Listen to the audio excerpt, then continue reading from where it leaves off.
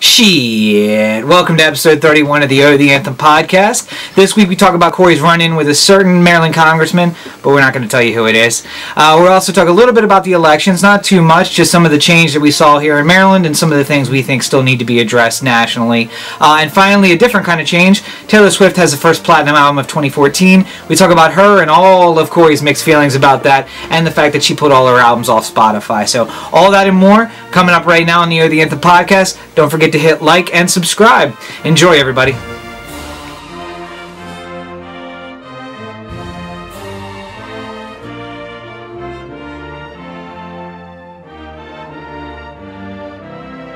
Oh!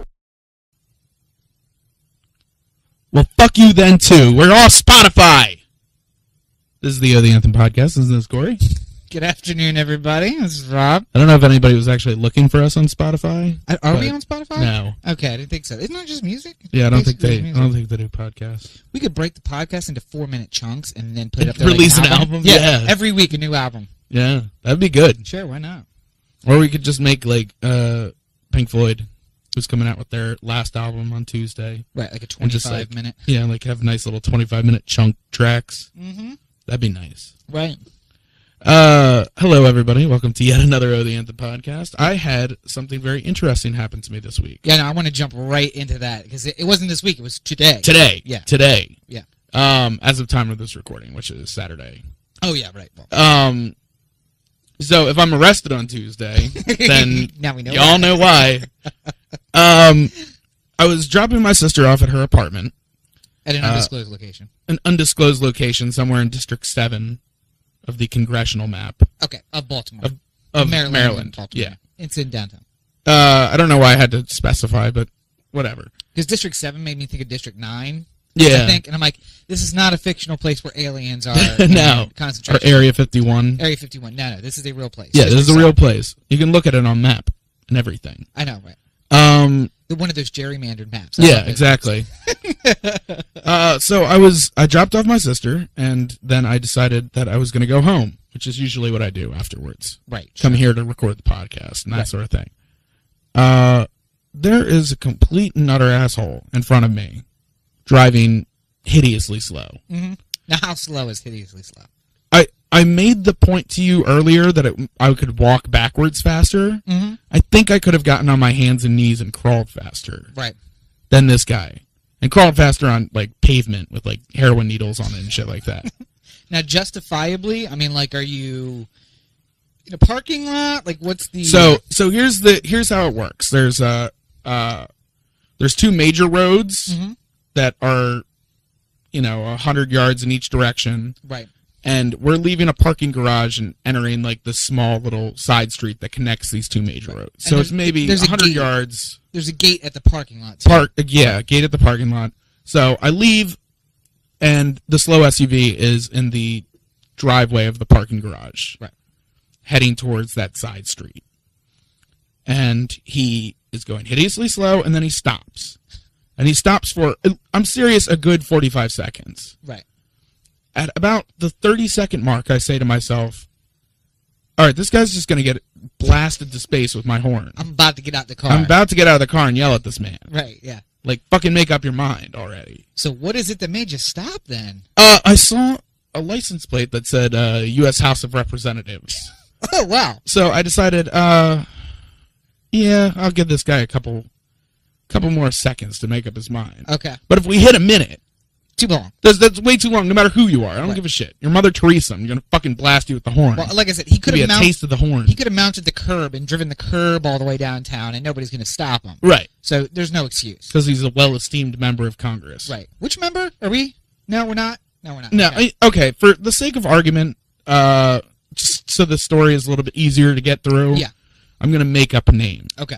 Uh, let's call him Elijah Davis. Okay. No, wait, that's not a good one. Let's call him uh, Clay Cummings. Okay. All right. So Clay Cummings Right. is at the end of this parking garage, like the driveway area, and no blinkers, no anything. I'm sitting behind him. I'm ready to make a right. He makes a right. Of course. So obviously the slow driver remains in front of you. Mm-hmm. and I am behind him. And for the last 50 yards that I have before I can make it to the major road, the two lane road where I can get around him easily. Right. He was driving so slow. I I have a manual. Right. The Subaru's a manual. He was driving so slow that I had to step on the clutch three or four times to keep the car from stalling out. Mm-hmm. He then stopped in the middle of this small road. And there's cars coming the other way, and I say, I can't do it. I can't just sit here anymore. Right. So I quickly make a maneuver around him. An illegal maneuver. You pass on a double line, but it's Baltimore downtown, so you didn't who, are, who are we to say what's legal and illegal? If I remember, there's no lines on that road anyway. I didn't see them. Okay. So yes, is- isn't that uh isn't ignorance an excuse of the law? absolutely not. But yeah, let's. if not, everybody I ever represent would be innocent. Yeah. Needless to say, I made a, a quick maneuver. I looked at him right in the face. Mhm. U.S. Representative uh, Clay, Clay. Cummings, Right. Yes. uh, who I'm, uh, I'm modeling after uh, Clay Davis in The Wire. So be sure to get lots of pictures with with the with him going like shit. Um, We have that in the podcast usuals because I use that a lot. So I looked at him. I put both arms up next to my, like, you know, parallel to my shoulders, and I did the, like, what the fuck, man? Right. What the fuck? I don't care who you are. It's too long. And then as I got back into the lane, after I made the passing maneuver, there was a guy who was parked and decided to make an illegal U turn in the opposite lane Right. as I was approaching. So I got towards him and slammed on the brakes, and then he looked at me like, what the fuck are you doing? And it was just like, blame that guy. So you so are you back in your lane at this point? I'm back in my lane. Okay, so you go around and back in the lane, slam on the brakes, guy does a Yeah. U-turn in front of you. Right. So I uh everybody's safe. Nobody was harmed during this time. But it's very clear to me that there was almost a US a member of the US House of Representatives was almost responsible Mhm. for a deaths of three ups- an upstanding citizen Mm-hmm. to die at the hands of a car that had lost control Now, which one of these are you? by his I'm the respectable citizen. okay. The taxpayer, right. church going man, Are you? local deacon. All right, so maybe none of that is true, but Well, the taxpayer part is true. the taxpayer part, oh, believe me, the taxpayer part is true. Right. I paid for that car that Right. he's driving improperly. Right. Again, uh, uh, since I just said deacon, you mind if I preach on it a little bit? Hit it. Go ahead. Take the pulpit. Uh, I think Mm-hmm. I think that every single person who's elected to Congress, Senate, governor, whatever the case may be, any kind of elected official for your state should have to have the same values of the people who live in the state. Okay. So I I don't want to hear uh I don't want to go I don't want to click through CNN and all of a sudden see Barbara Mikulski going like fuck Maryland blue crabs. Okay. They're terrible. I hate them. Well, I think Everybody who eats them is stupid. that would be suicide. I think, but She could get away with it. I don't know about If that. anybody could get away with it, it's Babs Mikulski. You can call her Babs. I call her Babs. Okay. Me and her, we're good personal friends. Sure. Me and Babs Sure. Okay. hanging out at the Hippo. Right. Um, I don't see her ever going to the hip. no, I don't either. Um, needless to say, I would say that Maryland drivers, on the whole, are uh, very aggressive and uh, quick drivers. Right. Yeah. How often do you get upset when somebody is driving the speed limit? Right, but my argument is gonna be are all those drivers in their late hundreds like the person that you are discussing? Elijah Cummings, I mean Clay Davis. Yes. Clay Davis yeah, Clay Davis. Uh, is in his late hundreds. It's. I think he might be approaching 100. Let's not be too mean. okay. I'm But- looking I'm looking at a picture of the congressman now. He looks to be well it's hard. It's hard cuz you with you know, I, I'm going to just use the stereotype here. Black man could be 40, could be 75, who knows. Black don't crack. He Are you using that correctly? Is that is that? no, I watched the episode of Last Man Standing today, in which she refers to um, uh, drug use and she and he like as if they're surprised that the young man who's in the school was using drugs, Right. and the mom's just like, "I thought black don't crack," and uh, Tim Allen's like, "I think you're using that incorrectly." Anywho, Sorry. uh, yeah. So I feel like if you're going to be in the U.S. House of Representatives for the state of Maryland, District Seven, then uh, you should drive like everybody who lives in your district drives, which is no respect for the people around you, uh, reckless abandon, constantly twice the speed limit. Mhm. Uh, and if you are in fact driving a car, then uh, it probably. No, I don't want to well, listen, there. if you're a congressman, don't, can't you afford to have somebody drive you around to avoid that? Like somebody who actually knows how to use a gas pedal. Right, yeah, yeah. Well, somebody who you know didn't have to crank the first car that they owned, basically. You know. Yeah, I guess that that's that's the struggle is real if you're a member of the U.S. House of Representatives. And where's the security? I feel like he has security. Maybe he was lying in the back seat. Had to take it load off. No, I mean like he, maybe he was uh like you know like uh uh do, have you seen the the trailer for American Sniper, the new Bradley Cooper Ridley Scott? I think it's Ridley Scott movie. Mm, no.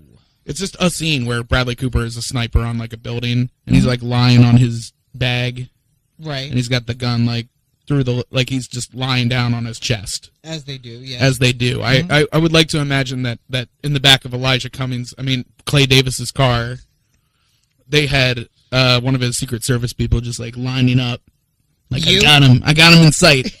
that oh the anthem guy who hasn't said a word about you. Just wait for him to honk. Just wait for him to honk. Oh man, he's gonna get it. we can. Don't worry, Elijah. I mean Clay. We can make up any story. right. Well, you're a U.S. congressman. Who's going to deny it? we can round up ten witnesses in this neighborhood. So anyway, Clay Davis is an asshole. right. And uh, speaking of elected officials, uh, despite the fact that we didn't address it at all, there was an election Yeah, on the Tuesday. day that the uh, podcast came out. So there's that. you know what? I don't think it was that much of a missed opportunity Well, yeah. because I didn't expect much of what happened that night. See, I did. I I had faith. I knew. I, I had a, a sneaking suspicion that was going to happen. I had a sneaking suspicion that Larry Hogan was going to win the governor's race Yep. here in Maryland, Yep. which was a shocker to many. Seen as uh, Democrats outnumber Republicans two to one in this state. Yeah, but you got to come vote. That's how that. Well, how yeah, but- you know. Also, I think Democrats on a whole really don't like Anthony Brown. I think that was the uh, overarching image of the election was that uh, we don't like Anthony Brown. Well, There- we don't like O'Malley, and we also don't like Anthony Brown. as There much. was a, there was a tweet that I saw. I can't. God, I wish I could remember who did it. I should have just retweeted it because it was funny. Uh, but it was uh, somebody who worked for the Sun, I believe. Uh, said, "Honest question: Did Anthony Brown knock on one door or speak at one event this entire election? Oh yeah, I, I saw him during the election. Did you? Yep. Because I honestly, the first time I heard him speak Yep. was when Hillary Clinton was in town. Oh, well, That was the only time I heard him say a word. I saw him over the summer, but I get invited to those kind of events. So Maybe, maybe it's just because I'm I'm uh not not on the same level. politically, Yeah, I don't know that I'm. they on don't want they don't want my my uh, couch change for their election. They want real money. Well, I've become. They a, want those uh, big big fat lawyer stacks that you got. Shit. I've become a bit. eh, that's not why. Shit. That's not why I'm on the list. I'm on the list because I was so politically active, and now I've become Oh, a gotcha. pariah because um, I have the gall to speak logically about things. Because you say shitty things about Elijah Cummings. I mean Clay Davis. I be that I because I ad, openly advocate for regime change I- online. This is this is one part I don't get. Okay. Uh, I don't know if it's just people are dumb, or it's that people have a super short memory, or maybe it's both. Okay. But I'm kind of shocked that Republicans took so many Congress, Senate, and governorships. Yep. Uh, despite the fact that a good degree of them shut down the federal government on a pretty pretty dumb move. Right. In Well, retrospect, um, remember that nobody who got elected shut down the government because none of those people were in office. True, but right. So here's how this happens. there's a there's a there's a large degree uh, there was a large degree of people who said uh like, oh, I'm not voting for that person who fucking. Here's here's what happened. So, real quick, I live I live in Dutch Ruppersberger territory. right, He's my congressman, right. regrettably. Um, he has done more to ruin the privacy and safety of Americans than anybody else in Sure. Congress. He's the one for the National Defense Authorization Act. Mm-hmm. The one that the one that SOPA. uh no no no he's the one the National Defense Authorization Act was the one that did pass Right. that allowed uh that made it so that uh the US government could instruct companies to keep 6 months worth of records of every single customer that they have. that they could label me a terrorist, black bag me, and send me to Guantanamo. Well, the idea fact the idea is that uh they wouldn't do it unless they had a reason to, but guess what? They're doing it for everybody. They're just not, Yeah. yeah. Yeah. Everybody's everybody's a terrorist. So well, obviously. So Um, yeah. So that guy won in a landslide election. okay, Not even, not even close. I think the the person who run, ran against him got like twenty seven percent of the vote or something like that. Yep. Well, here's the thing. Uh, Congress has a, an 11 percent uh, approval rating, Yeah. and 98 or no 93 percent of the people went back. Yeah. So if that makes any fucking sense in the world, Right. we hate you so much that you only have an 11 percent rating, but it's not my guy that's the problem. Th- I thought I saw a graphic somewhere that said the approval rating of Nickelback was higher than Congress. Yeah. Yeah. Yeah. So, but here's what happened.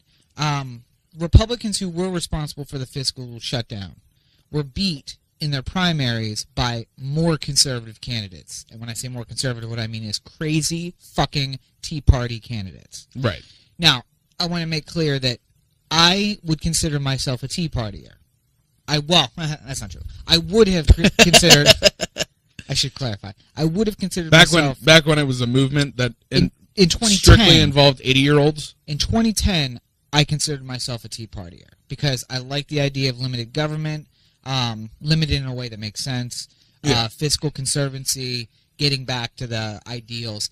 And then the Koch brothers decided they wanted to buy themselves a political party, and they, between 2010 and 2012, bought the Tea Party movement. Yep. And uh, now it's nothing like that. So I'm not a Tea Partier now. But the Tea Party now actually has a chance of winning because we saw that. They, Right. they beat the Republicans who shut down the government, and then it, use that Obama fury to get rid of the Democrats who had the seats. I, I honest to God, I'm always telling people to vote. Mhm. I'm always. Uh, it's, who you vote for, wor- just go vote. Yeah, go vote.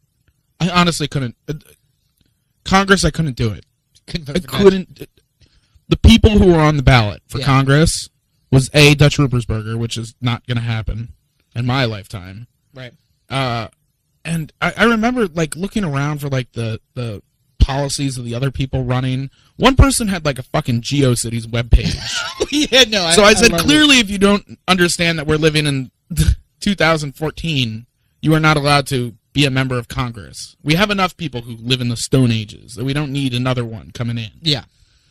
Uh, like you know, with like the GIF American flags. Seriously? Yeah, the whole thing. It it might as well have just started playing like "Glory, Glory, Hallelujah" when you clicked on the page. Like just got to go searching for that little tiny music player somewhere on the To page. find it, yeah. Yeah. Turn it off.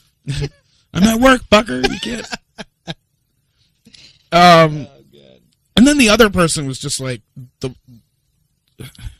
I don't know why he thought he was gonna win. I don't even know why he wasted his time running, because he was like the most.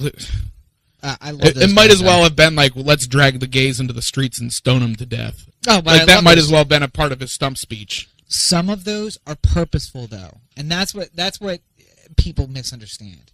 Is that so? Uh, Having people like that in the race don't help. No, it does. It does. It helps the candidate who closely aligns with them but isn't so extreme. Because okay, so I want to. I'm, I'm going to use a theory that I I don't think I've talked about before, but that I preach all the time.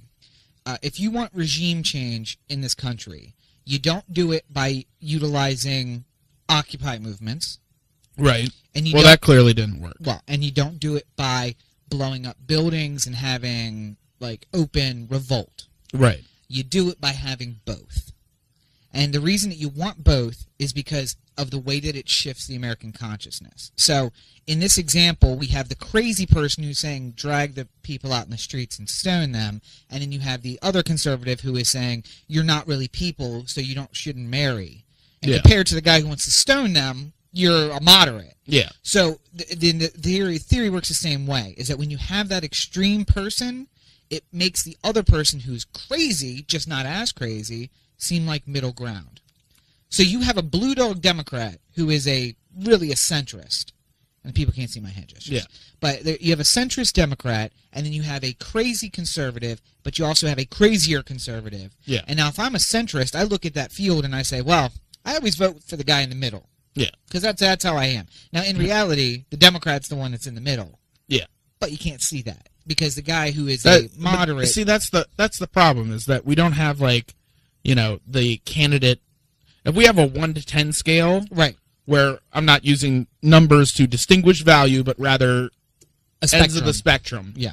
If one is a Democrat and ten is a Republican, and like one is like the biggest Democrat you've ever met in your entire life, and ten is the most diehard Republican you've ever met in your life. Yeah. We got ones and tens running in the same race, and nobody in the two to nine scale. Or like this example, Or we have a one, a nine, and a ten. and the nine looks like he's in the middle. Yeah, and then we say like, well, I guess I got to vote for the nine because Or sometimes you get the worst case scenario, which is what happened to Wayne Gilchrist, where you have Kratovil, who's a blue dog, so he's a five, yeah, but it it makes the moderate conservative look like the middle. Actually, that doesn't work for for Gilchrist because he was actually a moderate. But I liked Gilchrist a lot. He was, I think he's the last politician I honestly liked. yeah, and fucking run again, Wayne. Run. I I started a webpage in 2012 that was Run Wayne Run. Yeah. because I yeah, come back, come back. I, I'll vote for you.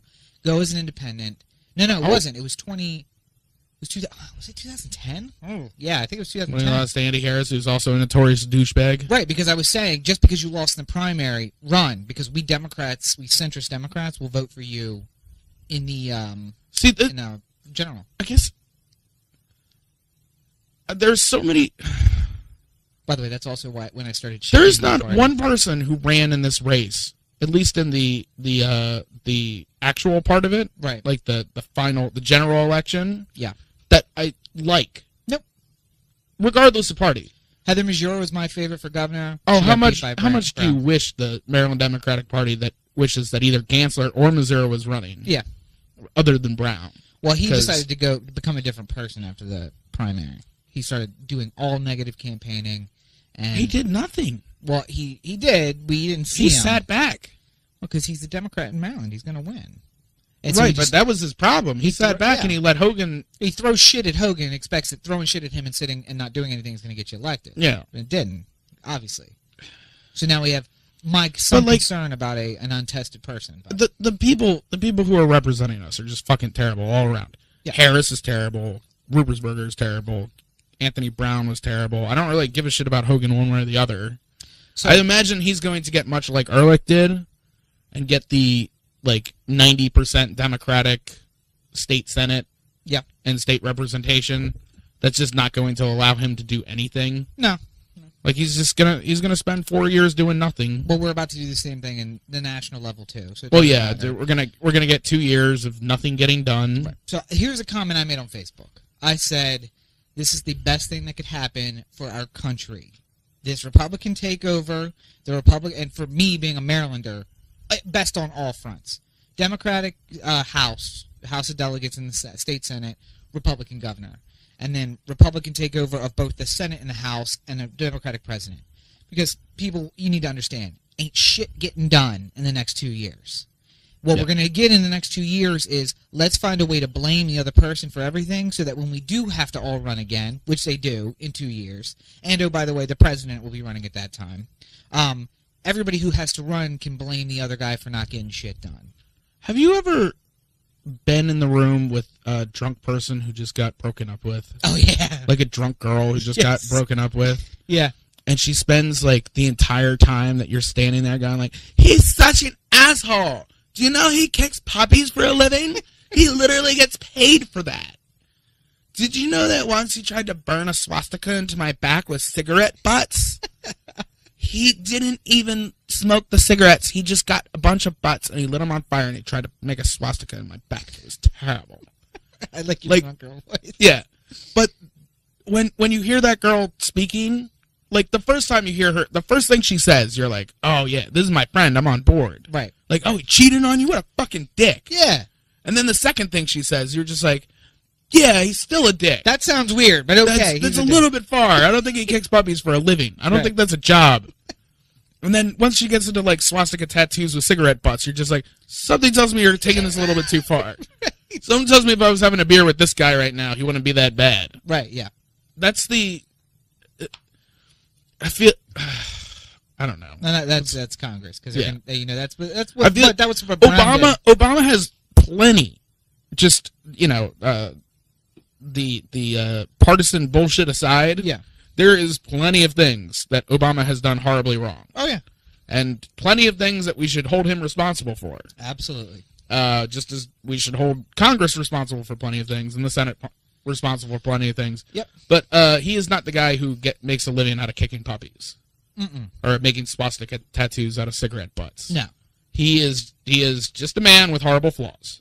Eh, Well, he's a And- man. yeah, he's a man with horrible flaws, Yeah. and we we uh, shouldn't let the people. We shouldn't let the drunk girlfriends of the world, Congress, decide. Yeah.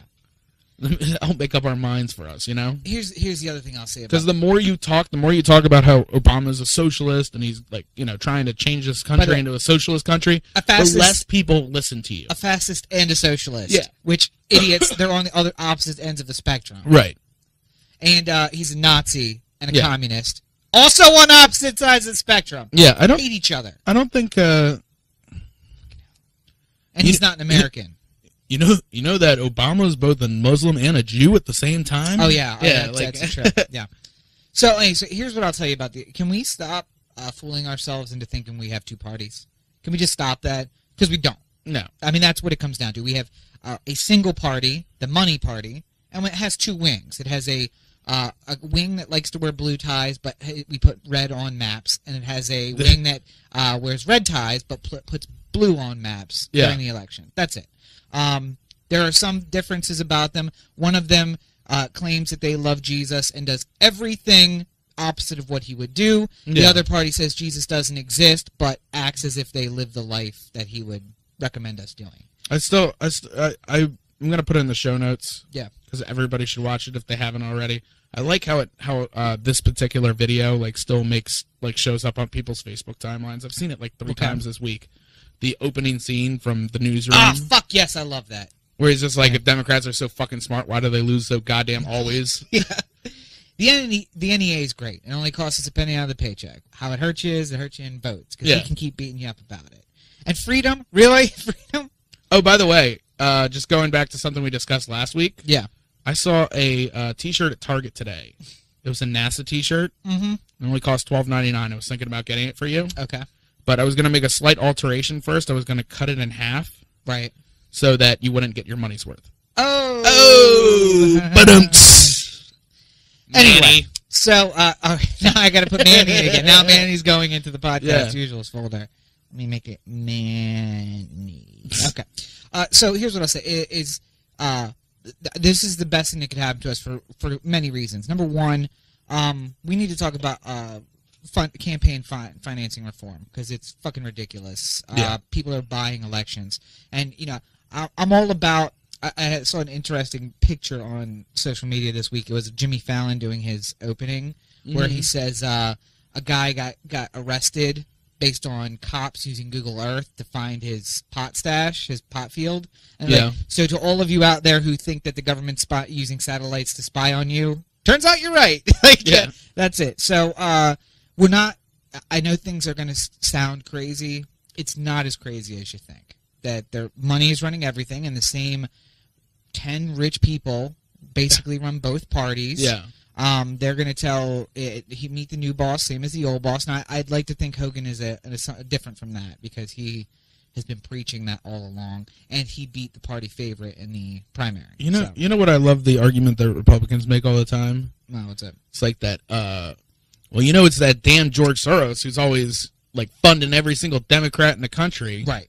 I'm just like, uh, I don't know if you've taken a look at his net worth recently, That but it ain't nowhere compared to the two brothers from Kansas. or Like, uh, the uh, Walton family, Yeah. which also can't donate shit to charity, but donates a lot to political campaigns. Yeah. It's weird how that works.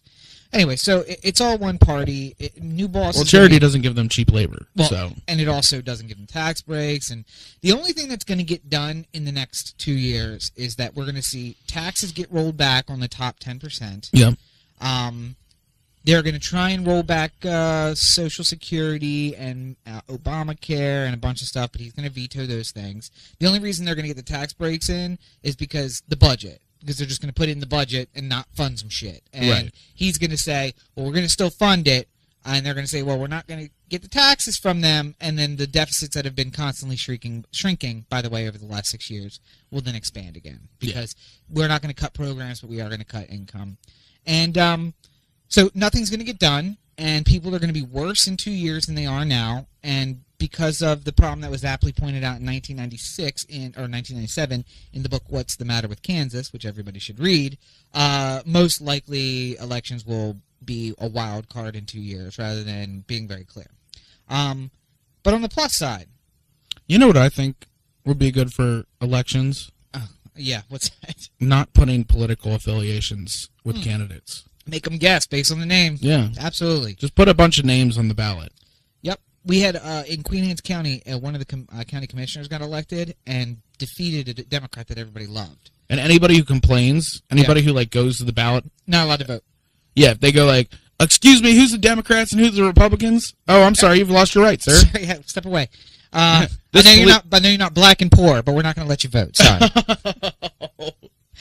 uh, oh yeah. man. Well, you know, 11 million people were disenfranchised, by the way, on election day. So sorry about that. you know, Um, I've, I've honestly, uh, I've been voting. Let's see here, how many elections has it been? 2000 would have been no. 2002 was our first election. Yeah. So it's been two years ever since then. Yeah, 12 years, uh, three presidentials, six congressionals, and Yeah. we've elected two senators in those 12 years. Yeah. So six elections though. Uh, every single time I've walked in, they've never they've just asked me for my name and I've given it to them Yep. and walked right into the voting. Well, we don't have a voter ID law, so Oh, I know, but I'm saying like, I, I the the only reason why I I think that it it's not necessarily a good idea or a bad idea. I think people should have ideas. Yeah. but I don't think they necessarily need one to vote. Though I have thought many to, many a time that I could just walk in and give my, give a common name, just Right. be like Steve Jones, right. And they'll be like, right this way, Mister Jones, and then show up five hours later when the next shift is running Right. and be like, you know, give my real name and stuff like that, and just This vote is- for candidates. This is a problem with the judges, though, because when I went in Caroline County, what they asked me was my name. Uh, I incorrectly gave them my name because I am a second, and Yeah. I didn't include that, and I almost got eliminated from voting because I didn't get. And I was like, she's like, uh, I'm not seeing you on here, and I'm like, oh, the the second, it's the second. Uh, my Yeah. it's not my dad, it's my grandpa, so it, there's no confusion here. Yeah. Okay, there you are. And your birthday, okay, and your address, and I got the address wrong too because I was still registered at my last place, but it's still in Mhm. the same district. I said, okay, well if it's not that, it's probably 223. And she was like, 223. Like, yeah, I- Yeah, I, know that's it, but I have to give the like I have to give all of my information. And if you do that, you're not going to have voter fraud because you can't go in there and say Steve Jones. Right. They're going to say Steve Jones. Okay, what's your uh, What's your current DOB? address? DOB, current address, all that stuff. Yeah. Um, and if they don't do it, that's their fault, and that's what we need to enforce. But voter fraud is less than one tenth of one percent. There is almost no voter fraud ever. Yeah. And the newsroom, speaking of that, did an episode about a woman in Tennessee who got disenfranchised. Turns out that's based on a real story. Yeah. A woman who marched in Selma in 19 in the 1960s was disenfranchised because she stopped driving and she didn't have an ID. She fought for the right to vote Right. and then is later disenfranchised. I, I can't even the anger. I I- period can't period even Yeah. period. It just I, you know I spend more time yelling at my computer and my television screen. But- screen. Uh, again, it se- to me it just seems like a this is like a shouldn't we be working on big problems? like what? Like I don't know, uh the uh prison the massive amount of people we have in prisons The on 1,040 nonviolent offenses. 1,041% increase since 2002. Yeah. Since our first election. Yeah. we should probably work on that.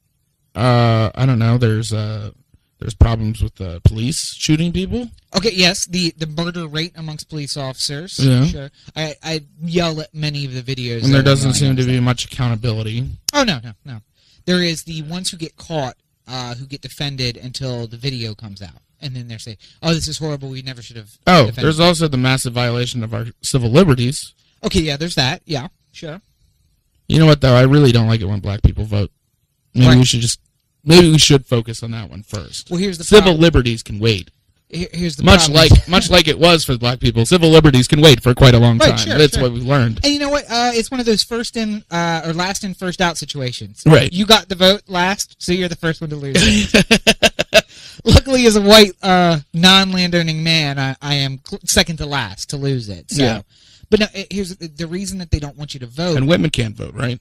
Uh, they no, they can. Oh. Um, although we really should uh, address that women's suffrage issue. I think we should end women's suffrage as soon as possible. I think It's I think we should just redo the uh, the man show bit where they go to the fair. It's like we'll end women's suffrage. No, uh, listen, Man Show was in 2005. Yeah. I have seen videos made in 2014. Outside of, by the way, like femin- the feminist departments, Yeah. the women's studies departments, Right. where they're getting hundreds of signatures, and I'm like, you're you're in women's studies. You don't know what women's suffrage is? Yeah. Come on, guys. But so, It's so funny because the word sounds so much like suffrage, mhm.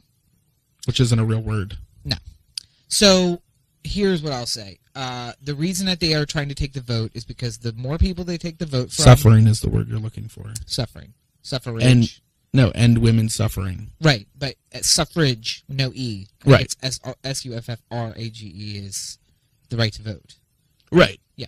But I'm saying there's no such word as suffrage. Oh no, no. Or suffrage. Yeah. Yeah. S- Suffrage. There's an English lesson for you. there we go. Grammar.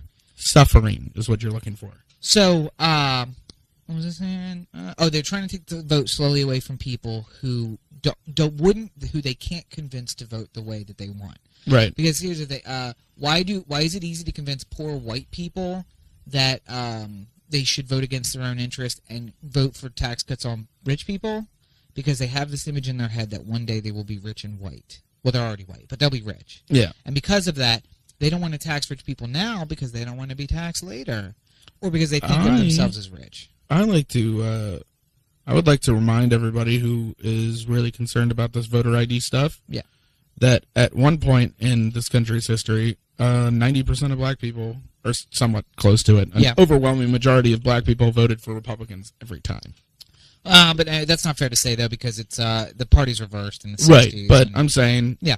You know, there's there's nothing keeping these parties from reversing again. No, absolutely, and, and I do love that. Um, by the way, I love the, that when the Republicans say we're the party of Lincoln, the party of Roosevelt, Yeah. you don't hear anybody after 1960. Yeah. it's like all of our good guys are back when we were Democrats, and it- we're going to look at that. You're a party of Nixon too, right?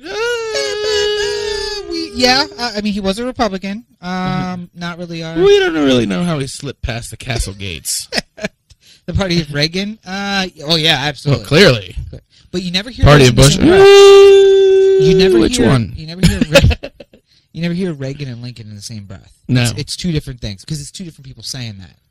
Anyway, so so here's the. But yet, yet, whenever anybody's blaming Democrats for anything, we go back as far as we feel like. oh yeah, Right? Andrew Jackson, fucking, Indian fucking, killer. fucking Obama, fucking FDR, fucking Andrew Jackson. Oh yeah, Thomas Jefferson. They're all the same. Right, This party hasn't changed one bit. the whips. Go back to the whip party. Wig, Wig, wig. What did I say? Whip. whip. wig party. no, so here's what it comes down to though: is that um, that the the reason that this is so good for America is because people need to get fired up. Yeah. And I was talking about before that I saw videos. I've been I've been watching for a long time these uh like protest videos, and you see people, people getting their ass kicked. And I mean, I was in New York in 2003 when we were protesting the Iraq War starting, and a lot of ass whipping and a lot of arre- detainments where we would just get shipped elsewhere, held for eight hours, and then released. Yeah. Um, but for the first time, I've seen a protest in D.C. that the Million Mask March that happened on the fifth. Um, people actually fighting back and like fighting the police and saying that we're not going to take it anymore.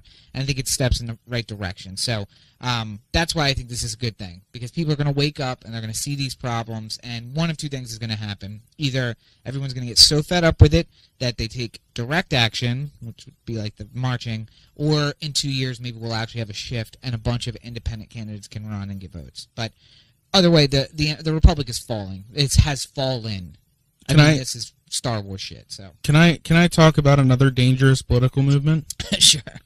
Taylor Swift has taken the country by storm Yeah. now that she decided that she doesn't want to have any uh, uh, roots to the country side that she never really had. Oh yeah. Do you notice that she got famous Yeah. for country and now she doesn't even sing country anymore? Yeah. The the largest genre in America, Yeah. like the most popular genre in America, she uses that to get in, saying like I'm a country artist, and then all of a sudden, uh, now she's like a guest ambassador for New York. I think she? was it? Yeah, I don't know. New York City tourism has brought her in as like the guest ambassador because now she lives there, Oh well, yeah. That's super country. as so- opposed to uh, Nashville where she used to live, right or. L.A. was I think she I think she had for tax purposes only a place in Nashville. yeah. That's where her mail went. I'm a Nashville star, country star. Um, I'm having I'm having a bit of a crisis with Taylor Swift, Okay. an internal crisis. I, I was hoping that we could take this time to talk about it. Sure. She writes a catchy song. She yes. She knows the formula. Well, uh, let me put it this way: somebody who works for her writes a very catchy song. Yes, exactly. uh, and she seems like a pleasant enough person that I don't want to like. Like Lady Gaga releases a catchy song, but I don't like Lady Gaga. Right. I don't want anything to do with Lady. I don't want to. That meat suit. I don't want to sit across from a, a dining room table from Lady Gaga. Right. You know, I want to Taylor Swift. I feel like if you just sat the two of us at a table, I could have a fun evening of conversation with her or something like that. She's I- a nice enough person. I feel like I could sleep with her and then get an album written after me. That's yeah, that that So- would be that's Rob's deal. Yeah. he wants to be a Taylor Swift song. Mm, absolutely. Um, I just she's not she's not real though. That's the thing about music these days. They're not real people. But how do you mean she's not real? Like she's so I, w- I was on uh, my favorite app Umano earlier, Right. Yeah. and uh, I don't know if I sent you this one or not, but it was uh, how Taylor Swift took over social media. No. And then if you that. scroll through more, just te- like I, I honestly believe that if you type in how Taylor Swift conquered, and then leave it blank into Google, right you'll come up with nine hundred seventy-five thousand results about all the thing that she conquered. country music, How she music. conquered country music, how she conquered pop music, how she conquered social media, how she conquered cats with funny names, how she conquered, you know, she have a like cat with funny name? I think she does. I know she has cats. Oh, it's uh, I, I did hear this because it was on that John Cleese thing on the Graham right, Norton right. show. yeah, yeah, It's uh, uh, uh, Olivia Benson. that's right. It's the name of her cat. Yeah, no, and I decided I could never date. Taylor Looks Swift. nothing like Mariska Hargitay. Yeah, well, I could never date uh, Taylor Swift because of the cats. Can't do. Here's an example of why I think Taylor Swift is a like. I don't get it. Okay. Yeah. So there was a video that I saw. When did I post it? Like two days ago? Uh, yeah. Yesterday, maybe. Mm, no, no, because it was during. The, it was like the middle of the week, Wednesday. That's right. Thursday. Okay. So I, the, a, a video went viral suddenly. Yeah. Somebody realized that uh, tape of a 1988 gymnastics competition or uh, aerobics. Yeah, it was a workout video that you do at home, basically. Right. It was like the championship aerobics team Right. doing their routine. Yeah. And it matched up almost perfectly with uh, Shake It Off. Right. And they put the video online, and then you know, 30 million people saw it in a day, or whatever the case may be. I think they talked about it on Ellen too. Like it was like popular. Yeah. But Yeah. the fact that I mean, you can't you can't walk a single step in this country without hearing Taylor Swift shake it off somewhere. But I felt like I listened or I watched that video like seven times Right. myself. And how many times have you seen much- the music video? Oh God. I don't know. A lot. A lot. Really? Yeah. You watched that Taylor Swift video? Yeah. Why? because I can't. This is part of the, the the I can't decide where I where I stand on this Okay. because Because here's what my so okay so problem. here's here's my problem. Here's my fucking problem. Yeah. Uh, I throughout my entire life did not have a problem with pop music. right. I could tell the pop music that was terrible, like you know, that was just being like sold to, like the the 98 degrees and the LFOs and the NSYNCs and stuff like that. Like I could just, I, I could just feel like I somebody like girls stop by. Seven seven fat white guys in a room deciding how they can make more money off NSYNC. Well, and you know that same guy put together like seven boy bands in a row. Yeah. And just replaced the one that he had with a new one. Right. Exactly. Yeah. It was it was uh it was paint by numbers pop bands. Right. Yeah. But pop has done a lot of good. Sure. Like let us not forget that Beatles are pop. Right. That Prince is pop. Michael Jackson is pop. And uh, T Pain brought his auto tune, which by the way he also actually sings really awesome without. it. Yeah, what the fuck? What the fuck is that? Anyway, Yeah. so that's a whole nother time. but there I, I do not have a have a, a blanket I hate pop music thing. Right. Because some of it's good and some of it's bad. And yes, that fucking Shake It Off is an incredibly catchy song. Yeah. And if it gets stuck in your head, so help you God if you don't watch that music video nine times in a row. Well, and I was gonna say if if I I would have predicted based on that alone that Taylor Swift would take off. If that was her first song ever, you know, Yeah. like Fancy was with Iggy Right. I'd have been like, oh, this bitch is gonna be huge. Or uh, uh, All About That Bass. All about that bass, yeah. But see, that that's the thing. Okay, so uh, the song All About That Bass. Is, well, and I called that for another reason because I said that is the new excuse pejorative. That's the new fat girl anthem. Right. Because girls who are proud of being big girls are like, oh fuck you, skinny bitches. And then it was weird because Nicki Minaj had the song at the same time that was like fuck skinny bitches, Yeah. but it was all about the positivity in that. But here's the thing. song. Here's the thing. Uh, I I haven't heard anything else she's done. Who Meg- Meghan Trainor? Yeah. Yeah, okay, yeah. but I can tell you right now, somebody she didn't. That, that was a 45 year old white guy. Bald Jewish white guy who wrote that song. No, no, no. She wrote it. She wrote it. She wrote it, and she shopped it for a year. Katy Perry said no. Taylor Swift actually, ironically, said no. And so finally, a rich white guy was like, "You know what? You're kind of a big girl. Why don't you just do it yourself?" She was not a performer because she didn't have that positive image of herself. And finally, they said the only way this is getting done if you do it. She's not a did it. singer either because she that the shit's auto tuned like crazy. Yeah, no, and and she's not. She's a writer. She is a writer, and she wrote the song. Three or four of the songs on her album, she had been shopping I- and I don't like the the fact that this is being sold to people as an anthem. okay, well, Like okay, so I was I was uh when I was driving around with uh, my sister Laura earlier, uh, a Blink One Eighty Two song came on, classic Blink. I think it was off like uh, Dude Ranch or something like that. right. and I just I realized I never talked to her about it, and I said, "Have you heard the new Blink One Eighty Two album?" She's like, "No, but I heard it was terrible." I'm like, "Yeah, they auto tuned uh, Tom DeLonge. Why? Because it's poppy. Why? Because it's Why? poppy. That's the que- perfectly adequate question. Punk rock is not supposed to be clean and easy, Yeah, it's a little off. but punk rock doesn't sell. True. How many punk rock albums have you bought in your life? None.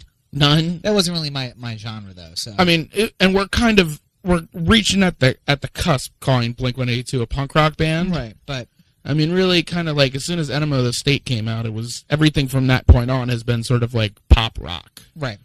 rather than pop punk.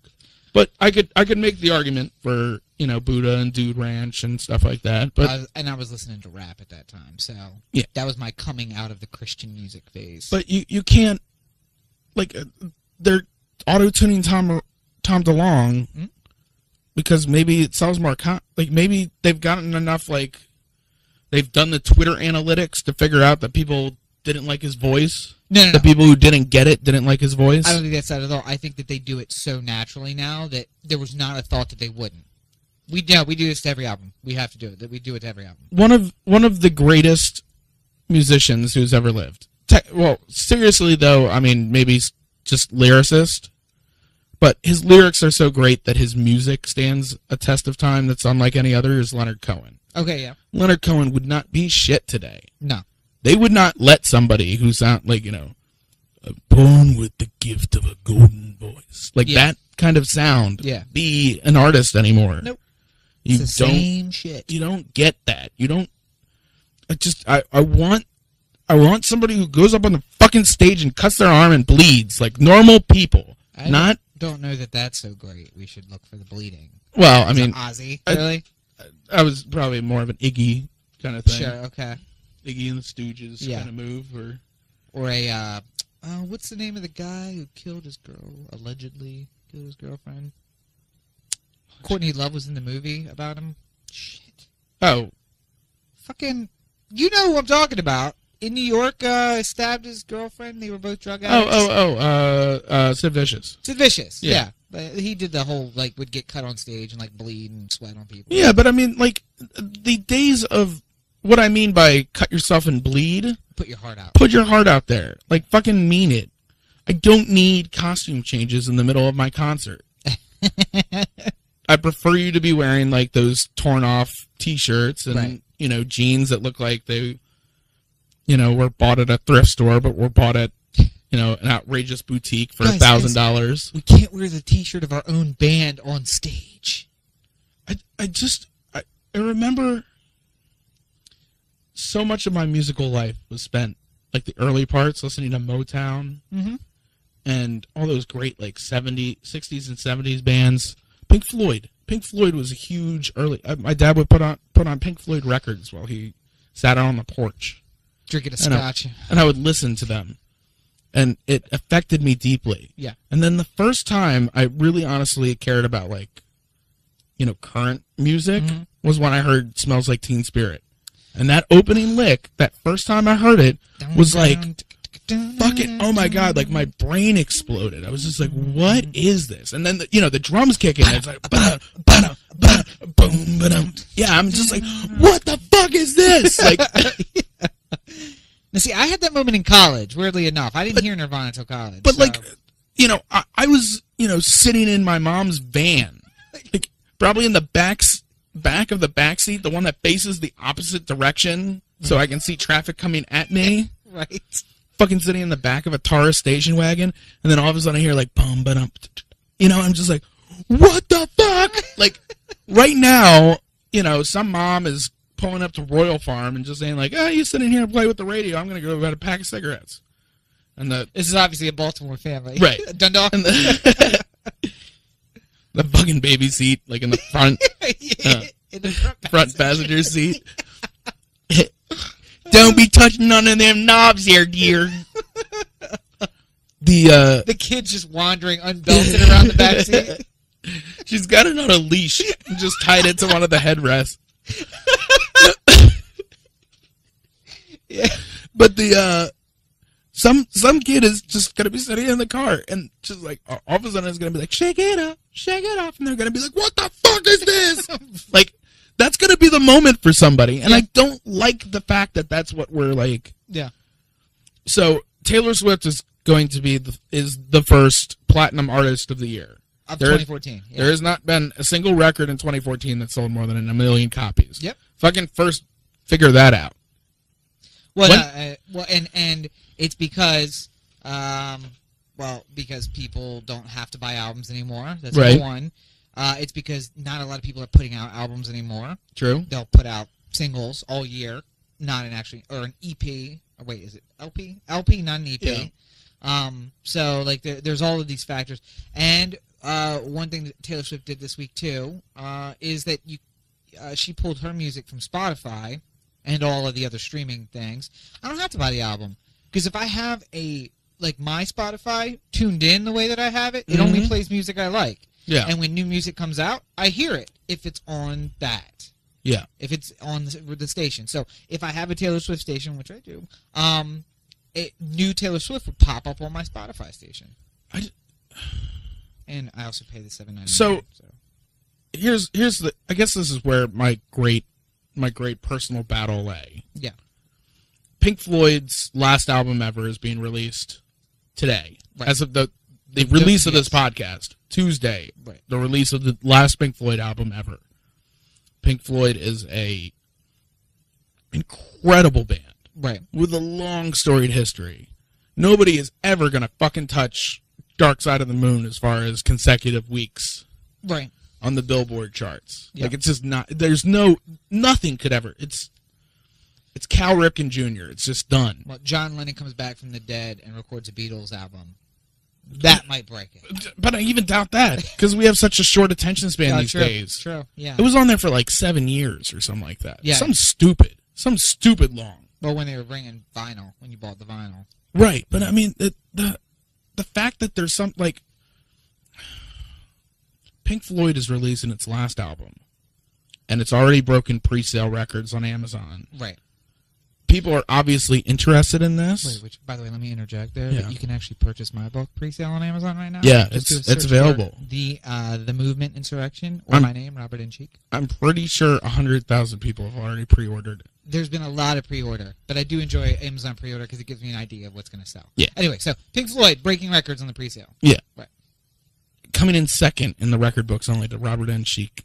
on Movement the, the movement insurrection. Yeah. yeah. Um, I, I I feel like I'm seeing a lot of it. Yeah. Maybe it's because my internet surfing abilities have fine tuned enough that Google- everybody knows what to tell me. Google knows you. Yes. Just knows that if there's a Pink Floyd story out there, I want to read it. Right. I just like I, I feel like I can't I can't step one step without Taylor Swift being a part of my life these days. Yep. And why isn't the last album of one of the greatest bands in the history of the world not Because it's not. like you know what? And swear to God, you sit down a sixteen. You know, like the the conversation we've had about like uh, uh, innocent girls listening to shit Rob says. yeah. if we took just like a sample of 10 uh 16 year old girls and just sat them in a room I don't With- think you and I in a room with 16 year old girls is a good. well no we'd have somebody else do it Oh, okay. All right. Fine. you know but we just have an ipod in front of them Mhm. and like the headphones Right. and just sit there and listen to this and we play taylor swift first and see how long throughout the album they get The whole thing. But yeah. Go ahead. probably listen to the whole thing And then let it go on repeat. and then uh just put on pink floyd and see how long they stick with that. And they're probably going to like you know 10 minutes in or whatever i don't know how the, the pink floyd album goes i've been waiting i want to buy it on tuesday i want to go to the Right. actual record store and buy it Yeah. the cd put it in my car and then drive around and listen to it Right. that's my that's my idea of like the perfect I feel like you're leaving out a detail. Is there another detail that's included in that? nope nope oh wait actually no there is another detail Yeah.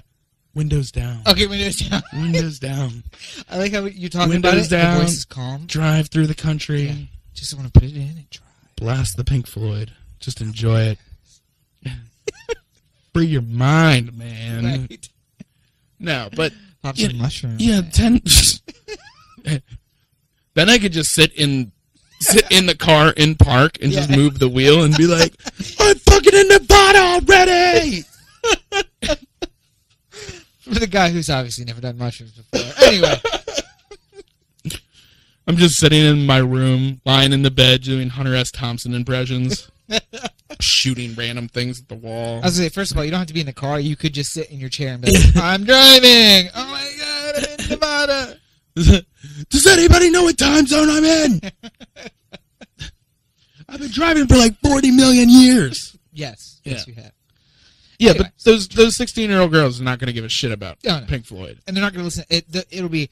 And you know 13 what? second I'm, skip. I'm not Skip, imagining. I'm not imagining that the album is going to be particularly good. Yeah, I think it will. Well, I mean, it, if you For like, you, if- for me, it'll be great. Yeah. But you know, for the average person who's just like, if this is the first Pink Floyd album you ever listened to, I don't imagine that you're going to like it much. Right. if uh, you have had a, a long history of you know the wall and uh, you know wish you were here and all the you have the poster on the wall. I just yawned and saw. It's, yeah I, had the. Pink Floyd poster right there. Yep. And even fucking I love Division Bell. I know there's a lot of people who give shit for it, but I love Division Bell. I love everything. I love everything about Pink Floyd. I like Syd Barrett era. I like the Roger Waters era. I like the David Gilmour era. It all works for me. And there's Rob snoring. So this will be more of the Pink Floyd podcast. And just kidding. We're just gonna put Uh, Dark Side of the Moon on and just let it ride. We should have. What we should have done is just written up everything we wanted to say in this episode and try to link it up with Dark Side of the Moon. Oh shit, that would have been so good. Yeah. Have you done that? You've. I mean, of course you have. The uh, um, Pink Floyd and um, Nope. you've never done uh, No. Wizard of Oz. No. You what? know you know why? Why? Because this is an argument. Okay. Now we're really going to fucking alienate 16 year old girls when they hear about this part of Pink Floyd. That worked on certain versions of Wizard of Oz and Right. certain versions of Dark Side of the Moon. I've seen it on those two versions. Then. because the original it would have to be like a VHS or like No, I saw it on DVD. on a DVD. DVD. It was the collector's edition DVD, which was Okay, supposedly maybe that had like the first the original. the, still the same syncing or something yeah, like that. the original. Because something film. somewhere along the line, uh, I was going to do that, and somebody told me that you can't anymore. And I read like a huge article about it Yeah. online, where this this is this is the truth here. Mhm. Pink Floyd had an album called Echoes. Yes. On Echoes is a song called Echoes, Right. which is one of my favorite Pink Floyd songs. The original print version of it, like first run release record version, 23 some odd minutes long. Right. They released it again on CD and cut it down slightly. I think it was like 22, Okay. 21 and change minutes long. Right. They released it again when they did uh, like a collector's or anniversary edition. Cut it down oh so more slightly. Right. they released Echoes, the best of Pink Floyd double disc CD, Mm-hmm. and it was an almost a criminal 17 minutes long. Criminal. Criminal 17 minute long. So we went over the course of time from like a 23 minute track to a 17 minute track. Thankfully, Pink Floyd released the uh, complete box set, which had Right. every single remastered original version of every song. I want to say, and I mean, keep in mind, we went So every single every single CD that's in the uh, the box set I have there is like the first run release of the record. And I was gonna say, uh, we we were in college in the age of Napster, and if I Yeah. remember correctly, now that I'm thinking about it, it wasn't a CD nor was it a DVD.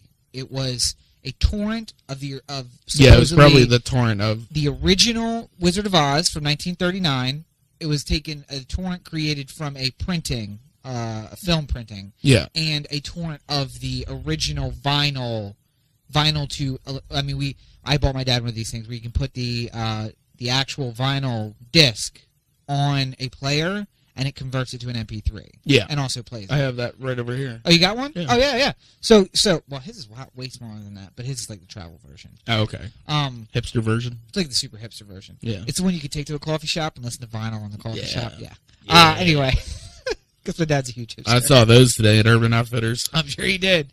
Um, but no, so I think if I remember correctly, it was we had one playing to one screen. Like Dan was playing uh, Dark Side of the Moon on the torrent on his, and I had the computer monitor rather than the laptop. So we were like watching it on mine on a torrent, and I, I'm not. I'm not. Here's the thing. I'm sure it's it's crazy. it's, you should it's kind of it. it's kind of close, but like I've heard that like the way God intended it, yeah. the because God has something to do with this. Of I'm course. sure of it. Yes, sure. VHS or like you know obviously if you could get a projector that would Right. be even better. But if you could get like a original release, sil- or uh, I almost said Silence of the Lambs, Wizard of Oz, Yeah. and a record of Dark Side of the Moon. Yes.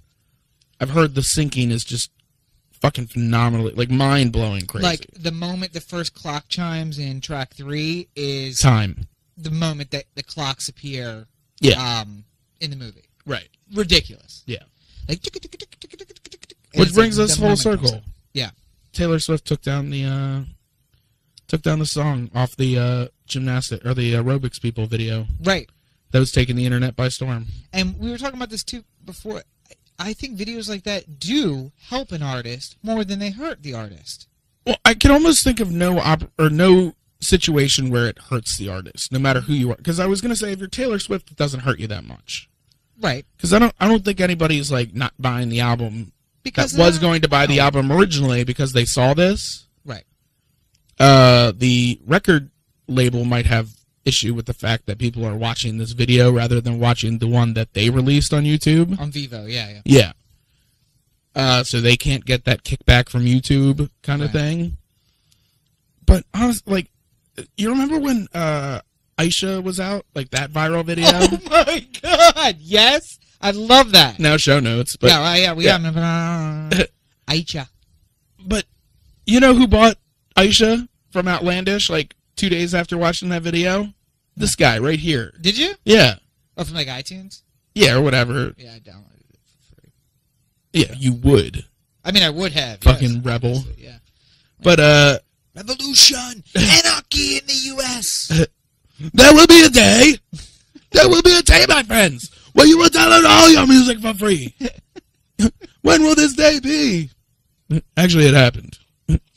It happened a while ago. A lot of people got sued. They made big spectacles of like suing grandmothers and Speaking of which, 14 year olds. my whole point of that conversation was Taylor Swift has become the new Metallica, Yes. and those words have never been put on any recording format before. I don't think. But no, I think I think that's an original. we just we've just done that. Taylor Swift is the new Metallica because, I, again, we went to college in the age of Napster, Right. and what Rob Back when Rob looked exactly like the guy from, from Napster. Napster. Yeah. and apparently still do. I don't know. Uh, anyway, uh, no, because he's balding. I got that fresh head of hair. Yeah. Anyway, so that wig is impressive. his point being, um, that I I would because it's true. I would have never I would have never listened to Metallica, and I didn't. I went from Christian music to rap, and from rap I went through like this Nirvana punk rock, like let's pretend it's '94, even though it's 2004 phase, Yeah. and then basically to pop music after that. So I would have never listened to Metallica, but you know why I did? Because somebody downloaded the torrent and played it, and I said, "Oh shit, that's nice," and we're on LimeWire, so I can see your list Yeah. not that you had a list, but I could see your list because we were all on the same network. I'm like, let's try this, and I played that, and I liked it. And the only the reason I would have bought a Metallica album, which I would have, is because I heard it for the first time on a torrent for free. Yeah. I didn't have to buy the album to hear it.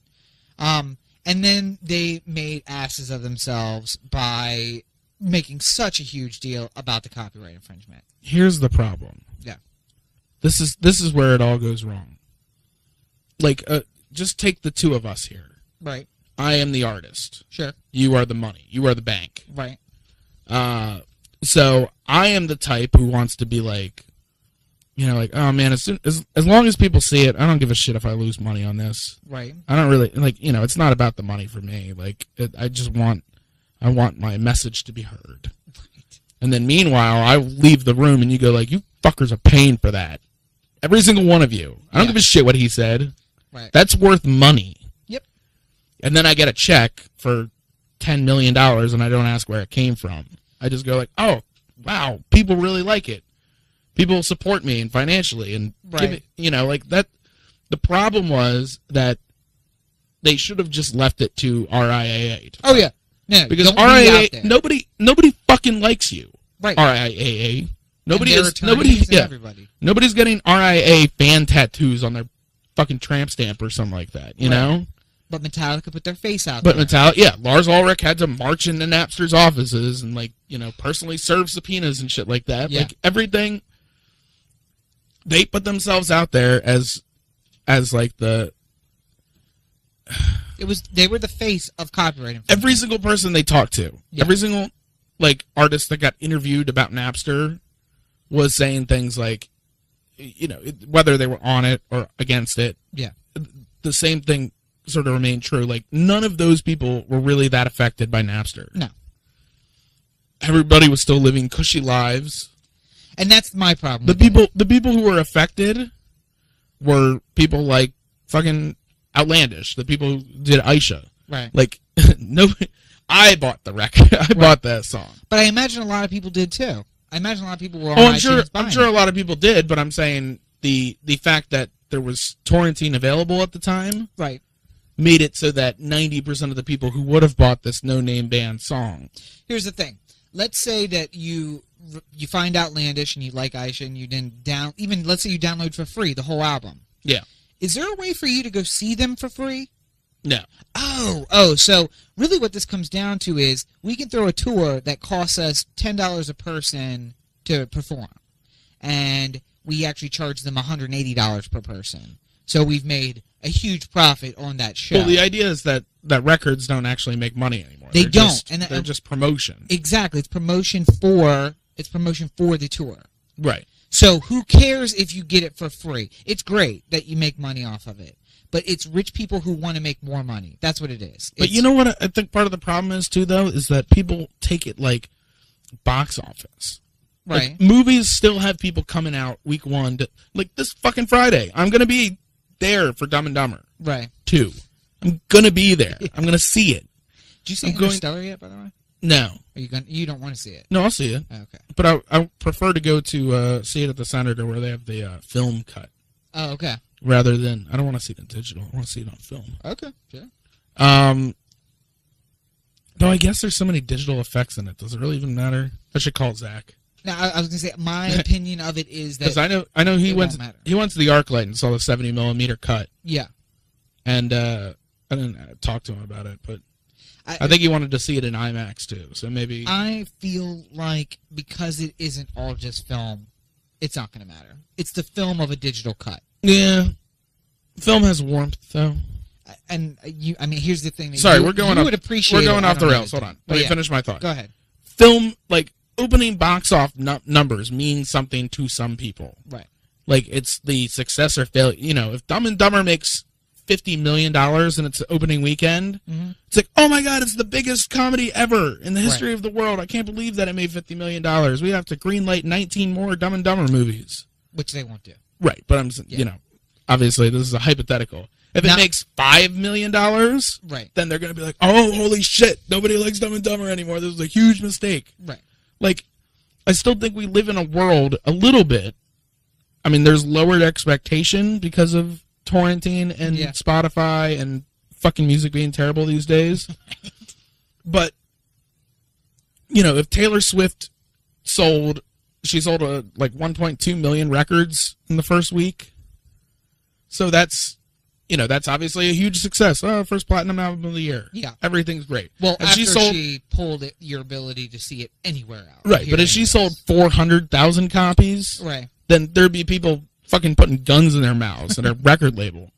They'd be like, "Oh my god, fucking four hundred thousand! That's it!" yeah, Like uh, Taylor Although, Swift is way, a, Taylor Swift you- is a property and a brand with a awareness, and people like her. And four hundred thousand put you still put you at the top of the Billboard chart. oh, I'm sure, yeah, So, yeah, by quite a healthy margin right, too. yeah, eighty thousand get you on the charts now.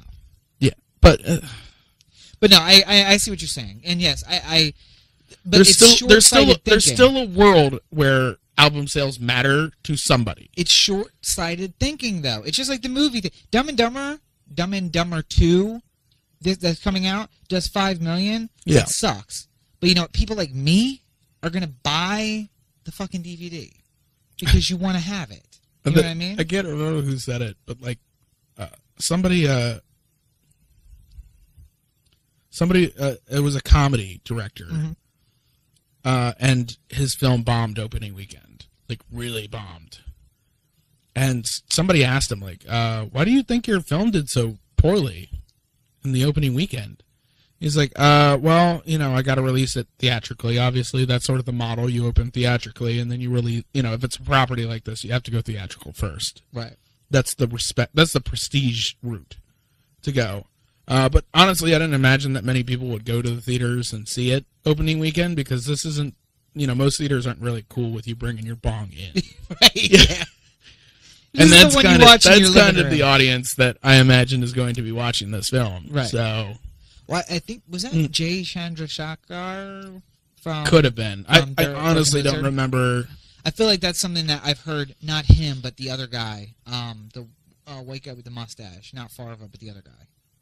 Steve Lemme. Steve Lemme. I think I've Yeah. heard Steve Lemme say the same thing. It's like, yeah, well, you got to go through the box office, but we don't expect that to happen. Yeah. Well, our money comes from the guys who are taking bong rips on their couch, Yeah. watching our movies. Who bought the DVD or Yeah. got it from Redbox or whatever. whatever? Yeah. Yeah. that's where the, that's where their money comes from. It's not because again, I, Maryland legalizes. Well, you still wouldn't be able to smoke in the theater, but I guess you No. could stand outside and puff a blunt right before you go in. I don't think you're allowed to do it in public though, are you? Uh, it depends what state Alaska will be able to.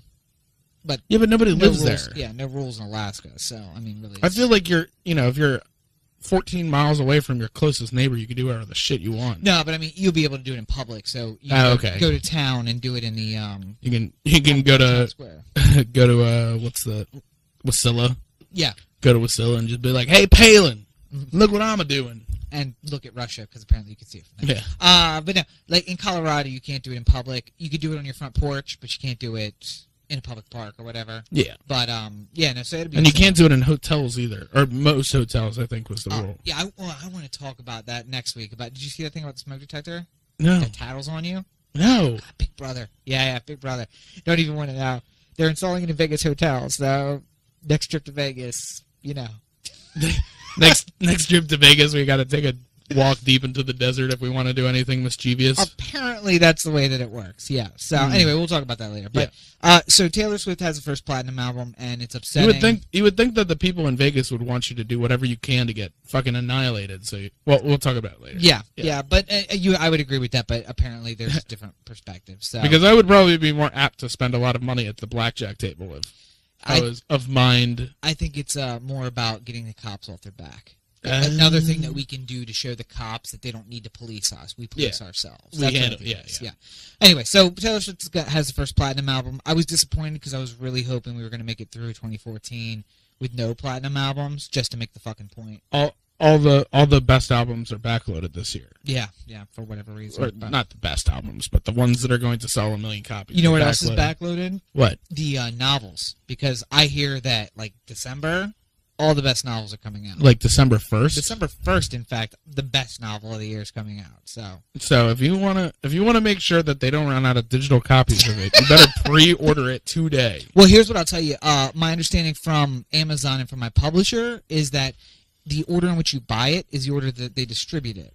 So there's a lot of books dropping on the first. If you get it now, the likelihood that it's sitting in your Kindle when you wake up on December 1st is very high. Ooh. If you buy it on the first, who knows when it'll actually get downloaded because of all of the bandwidth volume. right. So it might be the second or third before you get it. The earlier you pre-sale, the earlier you get it. You know what? You know what I used to hate about iTunes when an album dropped that I was really excited about. And they did, they, yeah, the bandwidth problem. No, it's when in the day is it finally Tuesday Oh, right. and yeah, released? yeah, yeah. Because I remember there was like a Michelle Branch album that was released on i you know that was on iTunes when I was buying music there, and I said, uh, you know, like, oh man, it's fucking Tuesday right now. It's midnight Tuesday. Yeah. No, no. Go on there, and it's like not available. I'm just like shit. And, you know, check every hour. Like I stayed up all night and just like Yeah. it's 7 a.m. It's still not on there. What the fuck? Like Um, shit. If uh, eventually, eventually, like 10 a.m. rolls around and it's available, and I'm just like, thank God. But there's a documentary about people who make video games to release on Xbox Marketplace, yeah, and that's a huge stress from the guy. The guy who's like super OCD and he's all worried about it, and he got, didn't never read the policy that said that our day starts between 10 and 12.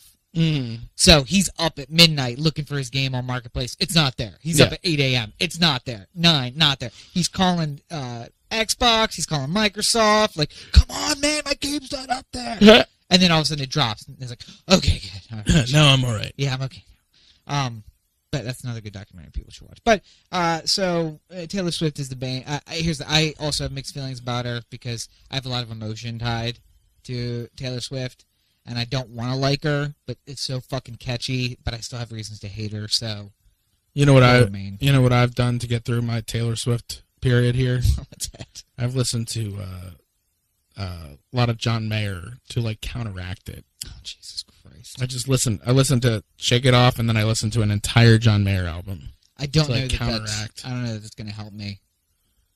Then it just makes me want to put a gun in my mouth. Bring you back to college. I know. Just listen to three by five over and over again until you cry all the tears out of your body. I was going to say because what? Then I'm crying over. really, if John Mayer and Taylor Swift is picking which girl do I cry over? That's right. Who am I thinking about while I'm crying? Basically, There's a there is a John Mayer album that or a John Mayer song that has Taylor Swift in it. Is Half it? of my heart. oh, super. So now I just cry over both of those girls. Yeah. Perfect. Half of my heart. is enough. I don't remember the lyrics. He's such a. He looks like he smells. Like now, like John Mayer when I was in college looked like uh like he smelled like patchouli. Like he See, probably but John Mayer, John. Mayer has like progress. Okay, so Taylor Swift. Just this will be my last point. I swear. Yeah. Uh, Taylor Swift, you know, like did the whole like wannabe Nashville thing, country Right. music wannabe, and then just this album shifted to New York. She's just like Yeah. full on pop. It's not even Not trying anymore. don't even don't even question whether or not she's a ar- country artist anymore. John Mayer moved around a bit, Mhm. and his albums have a very distinct feel. Like the Room for Squares, John Mayer was a very like suburban white kid. You know, I want to run through the halls of my high school. I just left Yeah. Berkeley and let Right. me make an album. Yeah. like oh, I'm just in college now. I'm just being one of the guys, Yeah. whatever. And then you know he there's like a definite city kind of like the uh, continuum and uh,